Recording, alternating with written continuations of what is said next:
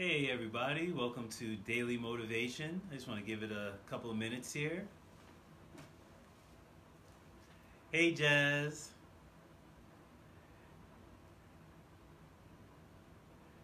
And I appreciate everyone taking their time to watch this this morning or if you have a chance to watch this later. And welcome to Daily Motivation 365 Days of Consistency. Uh, doing the same things over and over again until they become habit. And today I wanted to talk about business. Business, right?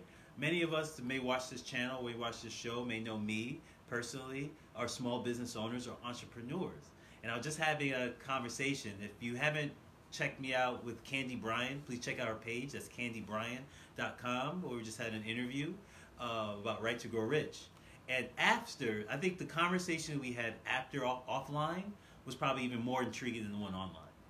And uh, so now, I want to mention what we were talking about offline, we're talking about the infamous business. Why eight out of nine, ten small businesses fail within the first 10 years. And this is abundantly true because of three things. Three things is we don't spend our time understanding and learning business, investing, and taxes. Three things that are very boring. I had a conversation with my friend once, and he was like, "Man, you're rich? Yeah, I want to be wealthy." And I said, "Man, becoming wealthy is very boring. so you gotta get used to the boring stuff if you actually want an increase in abundance, because those are three main things that we need in order to become better at our business. Sometimes we think, hey, if I have a product and a service, I'm good to go.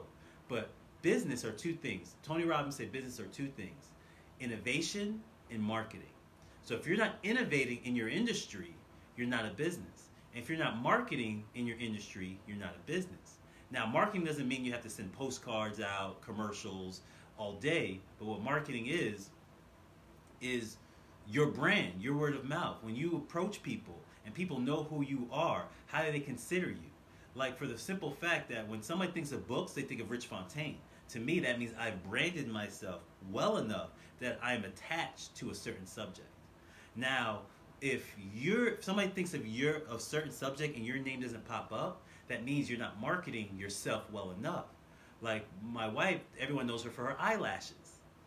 For the lashes that she does. Why? Because she marketed herself well enough that people surrounding her and references, people are saying, "Oh, you want lashes? You need to go to her."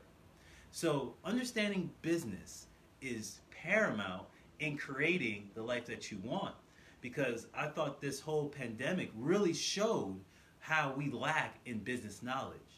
That Bill Gates said he keeps a six months reserve for all of his business. So if everything goes to zero, he can upkeep his business for six months.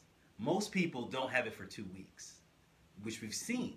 And so if you are going to be a business, you have to think, how does McDonald's think? How does Walmart think? How does the CEO of uh, Amazon think? How does Jeff Bezos think? How does Jack Ma think? Hey Elizabeth, how are you?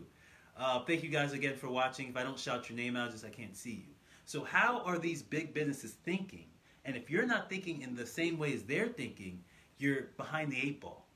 Because there's always going to be somebody that's going to put in the work and the effort to know your business better than you do. Investing, knowing where to put your money, that it comes back to you. That's all what an economy is. Econ is a cycle.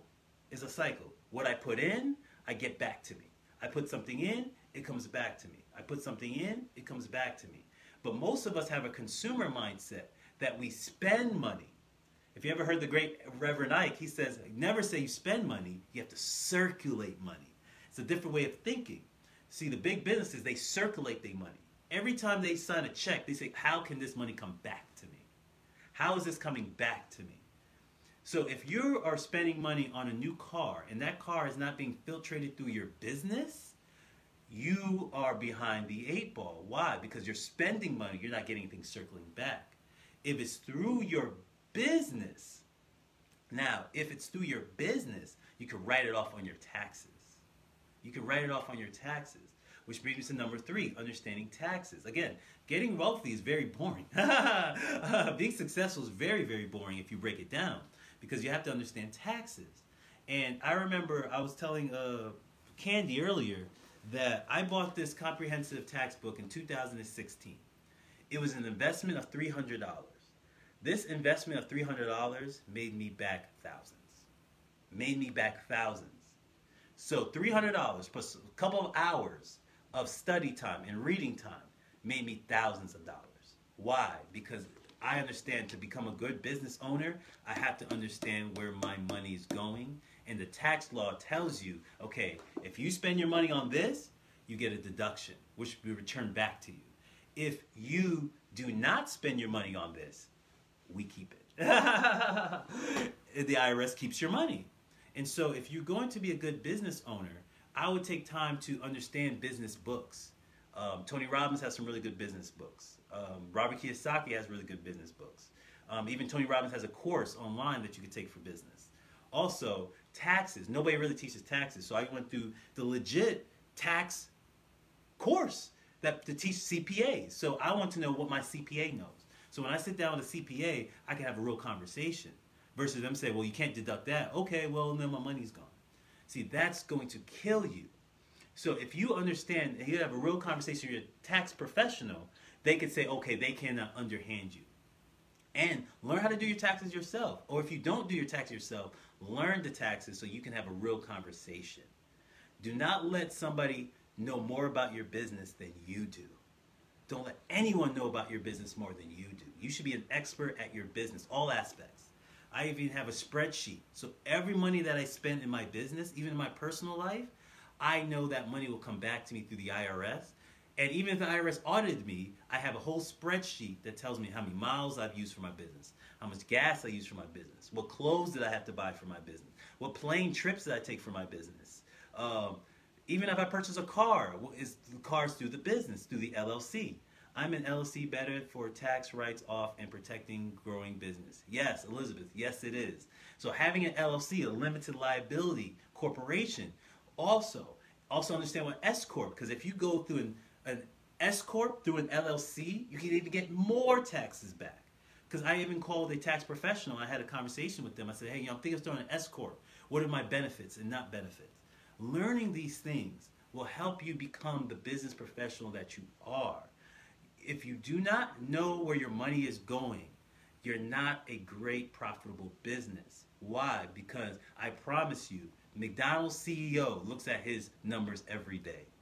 Warren Buffett looks at the Pepsi or uh, Coke, Coca-Cola's stats every day. They know where the money's going, where the money's coming back. You have to be diligent in your business because if you're not, you'll have somebody tell you things that aren't true They'll take advantage of you because you don't know. So understanding how to be a business professional, understanding investing. Why do why do the top country or the top businesses invest? All of them do. All the top businesses invest. McDonald's invests. McDonald's owns the most real estate on the planet. McDonald's owns the most real like churches are the highest real estate owners on the planet, and they're a nonprofit business.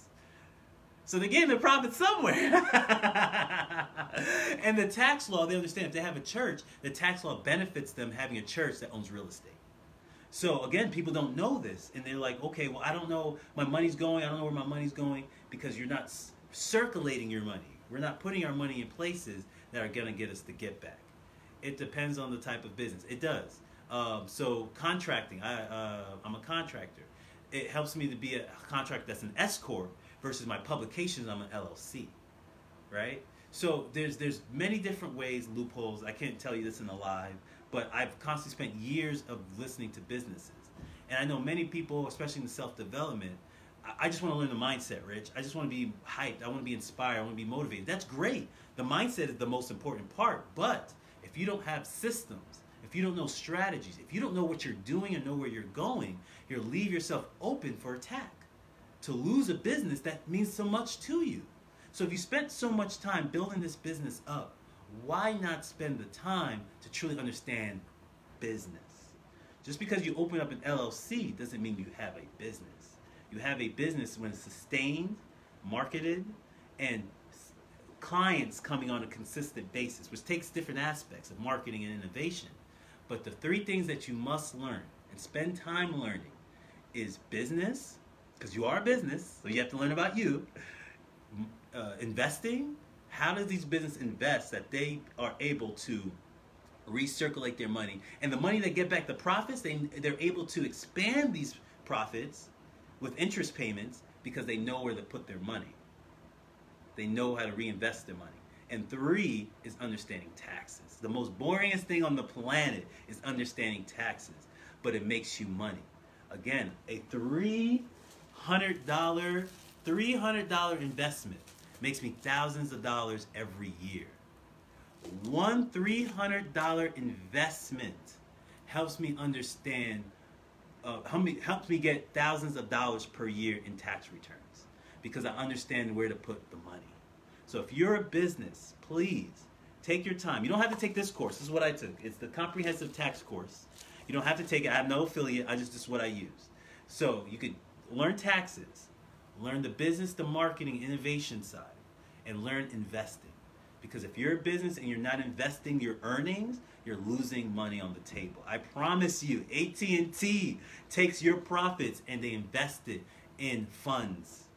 They invest it in funds. Some of the highest um, uh, uh, investors take business money and they reinvest it for a fund. You have to love what to do to be successful. Absolutely. But you have to know what you're doing. The problem is, yes, there's a part where the hairy fairy is gonna get you there. It is, you know. I feel good. I feel positive. I'm a positive person. All this stuff. It's gonna get you to a certain point, but only to a certain point, because you're gonna be playing with some people that know more about your business. And if they can take your business model, they could up it three, four, five times because they know about business, they know about investing, they know about taxes. Because it's not the money that you make that makes you wealthy. It's the money that you can keep and that can recycle to flow back to you. I'm gonna repeat that. It's not the money that you get that makes you wealthy. It's the money that you can keep, recirculate to come back to you. That's all that's all it is. And the only way to know that is to learn to learn about business, investing, and taxes again, this is more of a system. You know, I could always hype people up all, all day long. I could balloon you. but I rather give you strategies. Of what I do every day, I've been doing since 2016, um, that helps sustain me. So, you know, I can help keep my business afloat no matter what. Again, this is Rich Fontaine. Thank you, Elizabeth, for all your comments. Thank you, Jazz. Uh, thank you for everyone like. Thank you, Ed. Uh, I can't see everyone, but thank you everyone who took their time to like. Please like, please share, please comment. And this is for you. If you're a business owner, you're a business professional, these are things that you need to know. Because we saw with this pandemic that it takes just a, a little gust of wind to knock the whole thing over. Again, this is Rich Fontaine. You can agree with me or not agree with me. But either way, I feel this was a successful conversation. Love is love. I appreciate all of you. Namaste.